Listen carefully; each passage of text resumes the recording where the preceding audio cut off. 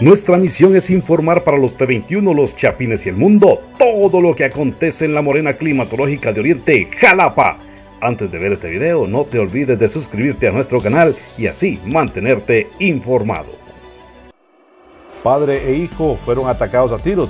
El señor muere en el lugar y hace poco también mataron a la hermana. Padre e hijo salieron temprano de su casa de habitación para ir a trabajar en la tapisca del maíz que tenían sembrado en sus terrenos en la aldea Urlanta del municipio de Jalapa. Lamentablemente, este viernes en horas de la mañana, dos personas desconocidas se les acercaron, los saludaron y luego les dispararon en repetidas ocasiones, dejando fallecido en el lugar al señor Pablo Darío Castrillo Carranza de 52 años y dejando herido de una de sus extremidades inferiores a su hijo Neri Alberto Castrillo de 30 años.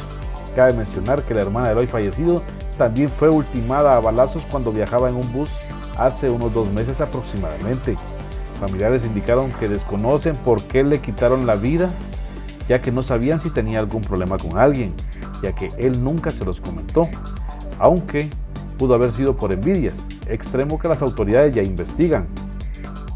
Al lugar se hicieron presentes agentes de la Policía Nacional Civil quienes coordinaron la presencia de la Auxiliar Fiscal del Ministerio Público y llegó acompañado con peritos en recolección de evidencias para levantar el acta de rigor del cadáver y remitirlo a la morgue del INACIF para la necropsia correspondiente unos cuantos metros quedó el costal de maíz que ya habían tapiscado.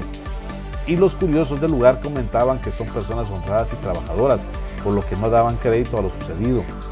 Cabe mencionar que el 31 de agosto, en horas de la mañana, sujetos desconocidos con gorros pasamontañas le marcaron el alto a un bus de transporte extraurbano, el cual llega a la mencionada aldea, donde fue asesinada la señora Odilia Castrillo, de 58 años, quien era hermana de Pablo Castrillo, ultimado este viernes, pero que las autoridades ya se encuentran investigando la causa que provocara que los hayan ultimado.